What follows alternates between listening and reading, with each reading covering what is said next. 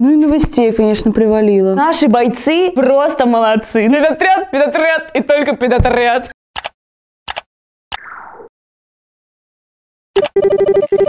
Привет! Ну что, соскучился? Я, если честно, тоже. И пока за окном холодает, у нас в студии по-настоящему жаришка, все в коврах, как вы любите. Давайте же смотреть, что у нас было в политехе. На прошлых выходных прошла школа студенческой весны, потому что весна, конечно же, уже скоро. И было очень много классных экспертов и спикеров. Наши ребята с нашего университета, как обычно, у меня очень много слова «наши», но они ездили туда и учились там всему новому, чтобы на весне удивлять, разрывать. Вау, следующая новость. Как я уже говорила в прошлом выпуске, 14 декабря будет бал сам ГТУ, который будет проходить в спорткомплексе 15.00. Тема бала, театр. И каждый из вас может прийти и вот эту всю атмосферу прочувствовать каждой ниточкой себя. Мы тебя будем ждать, потому что мы там тоже снимаем.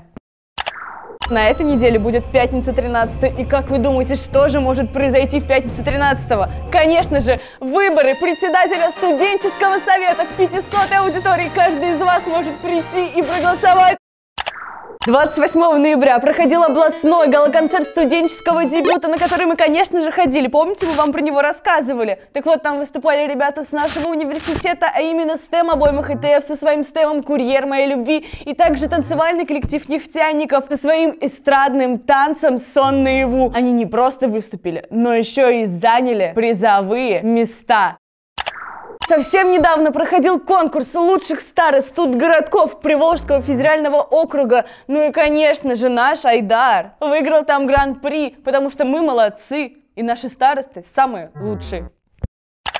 В эту пятницу проходило закрытие трудового семестра штаба студенческих отрядов Политеха. И что вы думаете? Мы там, конечно же, были и все первыми узнали, и вам сейчас расскажем. Выиграл штаб студенческих отрядов, и может быть не штаб, просто студенческий отряд Корсак, строительный отряд. Ну, молодцы, ребята стараются, что-то делают. У нас будет выпуск э, с этого мероприятия. И если вы случайно его пропустили, то обязательно смотрите.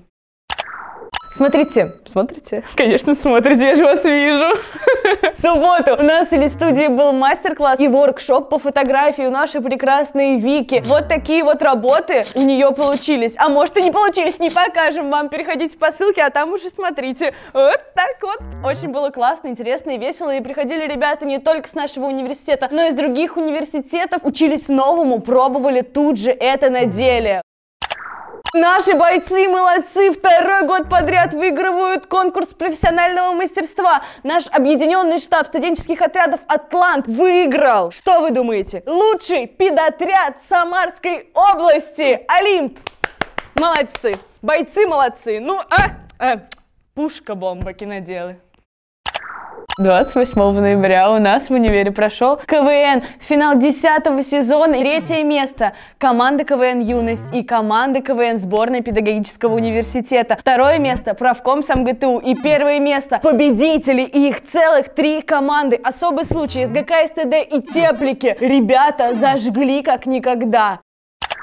Студенты из нашего университета, ну просто молодцы, постоянно все выигрывают и не стал исключением конкурс «Универсальный дизайн», в котором принимают участие молодые архитекторы и дизайнеры. Пять человек с нашего университета со своими проектами стали призерами этого конкурса. Последняя новость. 17 декабря пройдет мастер-класс для корреспондентов. Как вы думаете, от кого? От меня, конечно, от кого? Потому что мы в телестудии набираем новых корреспондентов. И если ты всегда мечтал говорить на камеру, вести какую-то свою рубрику, сниматься в бэкстейджах и очень открытый...